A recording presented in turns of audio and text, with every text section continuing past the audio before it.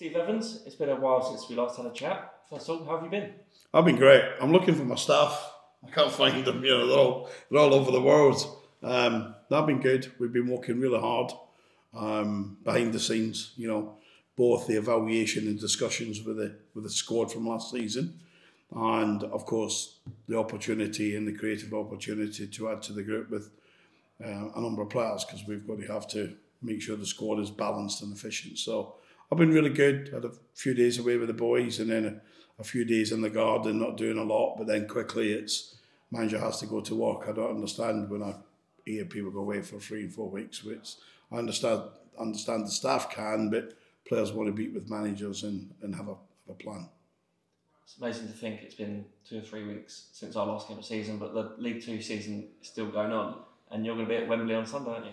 On Wembley on Sunday, um, and it's you know I think the league table, if if you look at it, is what to, in my opinion, fairly. I think Leyton Orient champions. They've had a wonderful season. I was with Richie doing some um, television work at the weekend and real humble guy. And congratulations, of course, to the champions. But I think the rest of the table sort of mirrored out. We were second, Northampton, a wonderful team under John.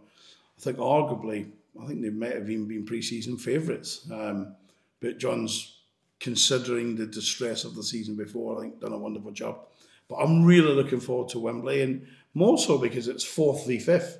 And if you look at the table at the end of the season, it's how everyone would imagine it, it could look.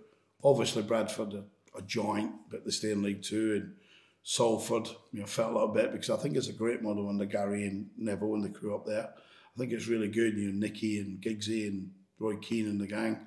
I think it's I think it's really good. But you know, if you look at the two clubs, Stockport, they've been on a massive rise under under Dave. Um, incredible. Went all the way to penalties and and of course Carlisle. I was I was buzzing for Simo, so I'm really looking forward to it. There'll be a great crowd.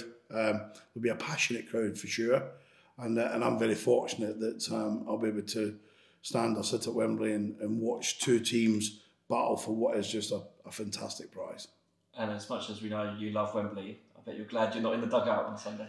Um, I think I'd be I think I'd be glad of a minute if I was guaranteed to win, but there is no guarantees, is there?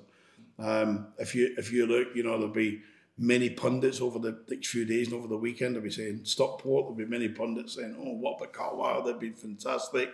I think on current form, you can't split them.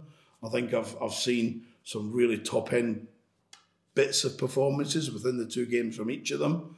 Um, I'm I'm just really excited and looking forward to it. And and listen, whether it's uh, Dave or Simo won't really make no difference to me, but I think either club will, will more than grace League One, and um, it's just fantastic to see. And on the flip side, in League One, it's Sheffield Wednesday against Barnsley, and our team will be facing one of them next season. It's incredible, isn't it? It's incredible. I think you look at, you know, I don't hide it. My family, I've got an allegiance towards Peter, as you know, but who can who can take away the miracle, the football miracle? I was speaking to Darren Moore, called me yesterday, and we had a good chat on the phone, and of course, I threw the flowers to him and the bouquets, and because it's, it's incredible, just an incredible what they achieved. Um, spoken to some players that played in that game, and people like Barry Fry and the chairman of Peter Darragh, and the atmosphere created by the Wednesday fans was sensational, incredible. But then you look at this Barnsley team; they've done the double over Wednesday this season. Uh, we've used their training facilities two or three times travelling. Where the manager has, been brilliant with us, and um, two really good groups of players. I don't think it's as clean cut as a lot of people think. I think it's an interesting one. Big Bookie's favourite Sheffield Wednesday because of the comeback, and Barnsley have beaten them twice and done the double. Psychologically, it's on a level for me, but two great clubs. And now, just looking back at ourselves, we saw you, the staff and players all had a, a long weekend out in Spain. Um, we saw plenty of photos. How was it? That was fantastic the fitness testing went really well. Uh, Rayner failed to show, Ravel failed to show. um, no, the, the boys had a good time. You know, we went out, we, we used it also to have some meetings to chat to the players, the good, the bad news, the indifferent news. Um, I think it went really well. We've we've let go of some really talented players, some real talented lads, some guys that have gone the extra inch for us in different weeks, numerous weeks of the season they'll all they'll all go and sign for clubs and, and, and do well in their career. But to every one of them that's moved on, we genuinely wish them every success. And to those they've kept, then they're they're already working to the to the fitness plan that's that should be kicking in from next week. So they'll be working to that, and then we'll very quickly be getting ready for new season, and that and that's football. And the ones that we have kept, how important is it to keep that core group of players that got us up into League One? I think it was massive. I think you, you looked at the seasons that some of them had. You know, um, you know, everyone can instantly say Carl Piergianni and Dan Sweeney. They've been absolutely tremendous. Uh, but I could go through the whole. They could go through the whole squad. Some of these decisions to not take lads forward or take lads forward was really marginal.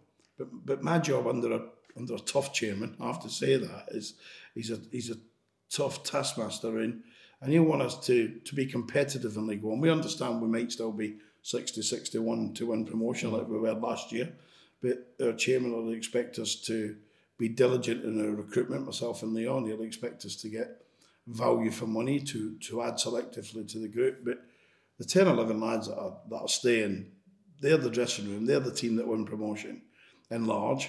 And we're going to try and add to that we good players who we think can maybe give us something we've not had. And of course, we have to make sure we do our homework to get the characters the same because the dressing room last season, probably outside outside the second season at Rotherham when we went to the championship, that's the best ever dressing room. Wow. And we've seen earlier that Josh March has re-signed for Stevenage.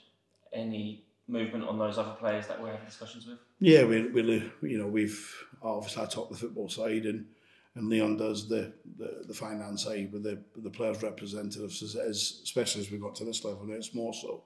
Uh, but we're really close with some. You know, we've had some really good meetings. Um, we know exactly where we're working to the plan that we discussed we early last week the chairman when he was in and we were discussing not just plans for the signings but plans for the training ground for travel for everything and it's it's, it's a really exciting time to be the Stevenage manager. It's a really exciting time to be the the Stevenage supporters. I mean more weeks than not the Lamex will sell out next season. We'll be sold out. They'll be they'll be on the roofs in some of the games. And um, and we're very very honoured to be there. But now we're there we want to play a part. We don't we don't just want to be a, a spare part. We want to play a part.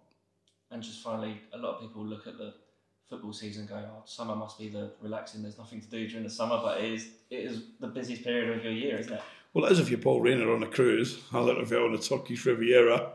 He played just somewhere in the Costa del Sol, I suppose, we with his good lady and little boy. But um, no, listen, I, I'll got a break as well. We're not hiding from that. But I will, um, I will be walking all the way through that. We have to be ready you know, and, and never forget that little saying that I said it many times last summer, is if we um, if we fail to plan and we plan to fail.